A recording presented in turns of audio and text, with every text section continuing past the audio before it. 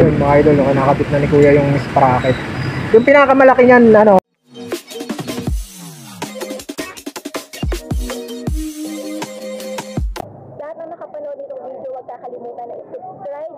ang channel ni Sir Vlog para ma-update na kayo sa iba niyang mga i-upload na videos.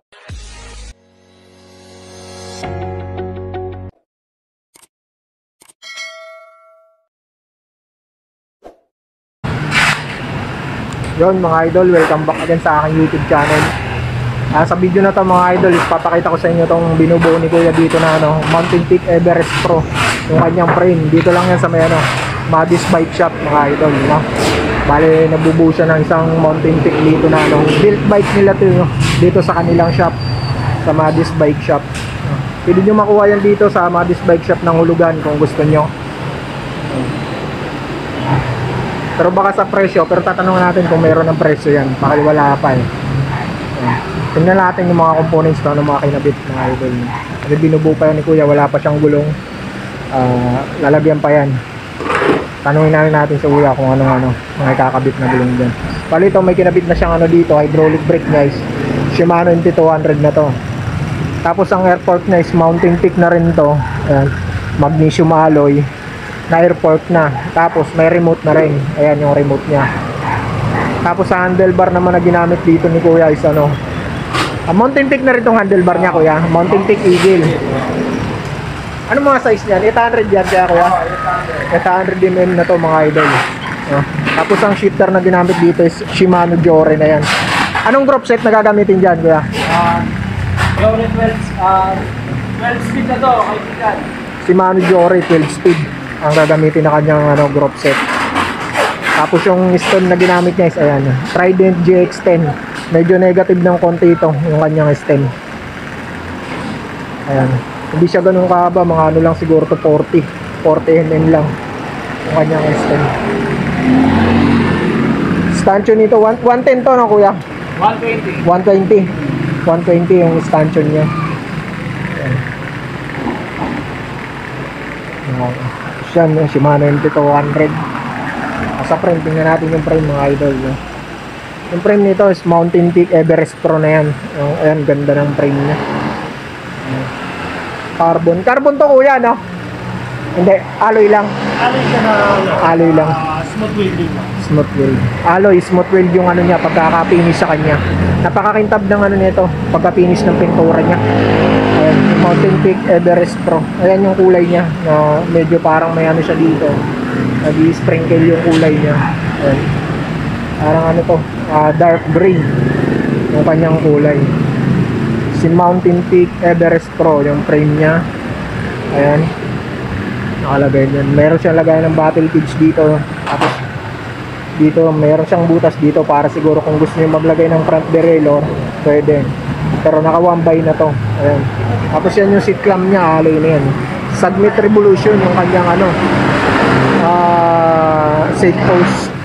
Tapos yung saddle niya aerowick ah aerowick ano to? Ayan basta aerowick tong saddle niya magandang klase na rin yan. Ayan. Oh. Diba, may butas na dito. Tapos yan para may plastic siya dito na pinatungan, pinatungan ng foam niya. Yung angas ng ano na to, saddle na tong. Ito 31.6 tong ano niya. Uh, pulse niya. Naka double lock pala yung ano nito. Saddle niya, oh. meron dito, meron dito. Karamihan sa iba kasi isa lang dito lang sa loob. Ito meron na rin sa labas. Ang ganda ng safe push nito. Tapos may plastic dito yung ano niya, pinatong yung foam niya. Angas.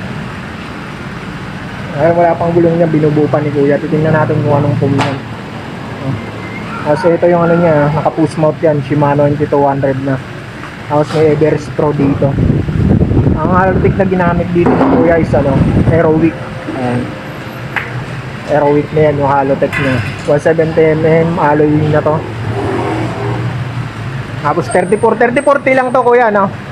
10, 40. 30-40 lang, pangahon mga idol, no? Pangahonan talaga to, yung binibuild ni kuya. Ayan yung kanyang Red Barrier Red Jory. Yung may lock na to, no? Ayan. may. May clutch. Clutch ba tawag dito?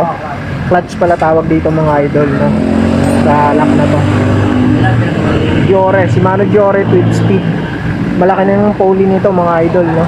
YBN din tong ano niya, chain niya, magandang klaseng ano na rin. Pwede silang mag Chain. boss, pwede silang mag-request kung gusto nila SLX o Diore.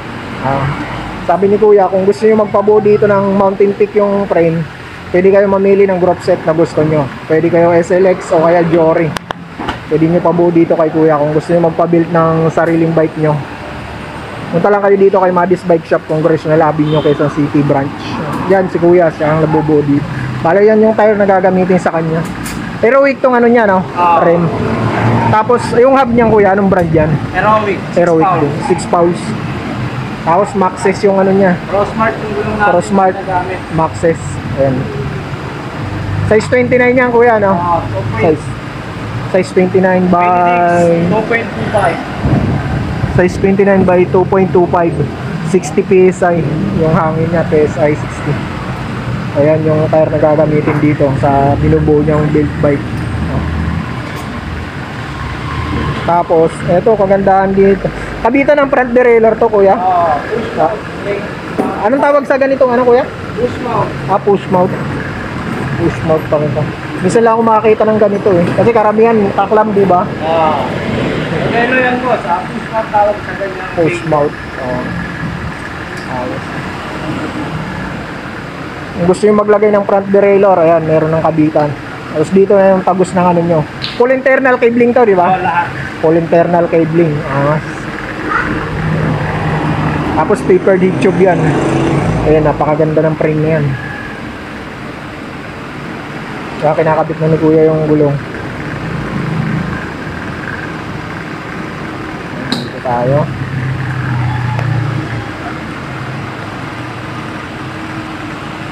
Antayin natin makabit yung isang gulong ni Kuya. Binubuo niya pa.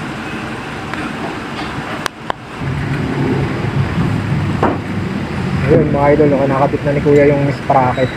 Yung pinakamalaki niyan, ano Kuya? 50. 50, tapos 40 to, no? Ah. 11 yung pinakamaliit, no? Ano naman karamihan, eh. Anong sprocket lang kuya yung brand? Aerowick din. Taiwan. Aerowick Taiwan, yung sprocket niya. Yung gamit niya sa build bike na to. Ngayon, kakabit na ni kuya. Yan, doon na, isang bike na, kompleto na. Oh.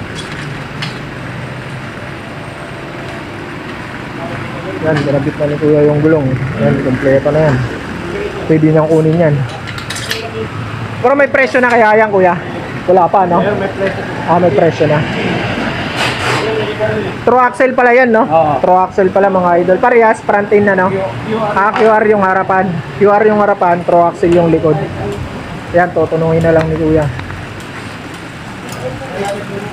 Yan. Tutunungin na ni Kuya. Nag-accept naman kayo dito kahit anong klaseng gawa ng bike, no? Kung gusto niyo magpagawa kay Kuya ng bike, yan. Magaling ang gumawa si Kuya. Pasya lang kayo dito kay Madis Bike Shop Congressional.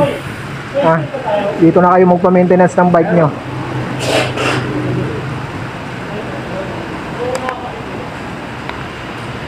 Kahit anong bisikleta boss, pwede tayong mag-repair. Basta bisikleta o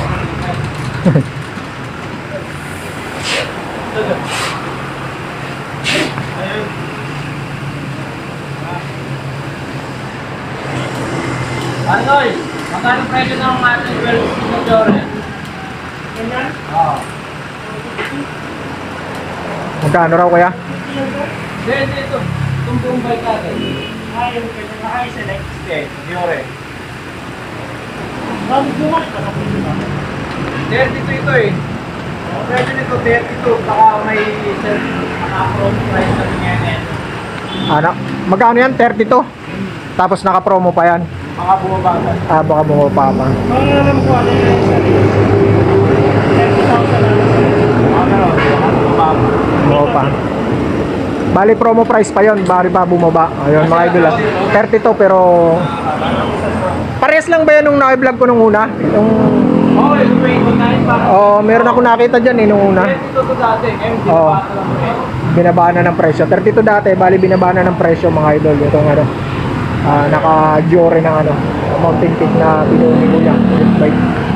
So yun lang mga idol, yun lang ang video natin sa build bike na to ni Kuya. Ah, kung gusto niyo ng ganyang bike, pasyalan niyo dito kay Madis Bike sa Congressional Avenue Branch, Quezon City. Oh. Pwede anong credit, di ba kuya? Pwede, pwede niyo makuha ng credit, installment, pwede. So- 40% down. 40% down payment yan, no? Lahat lagi yon sa lahat ng bike ganun, 40% down payment. So, yun lang mga idol, 40% down payment. No?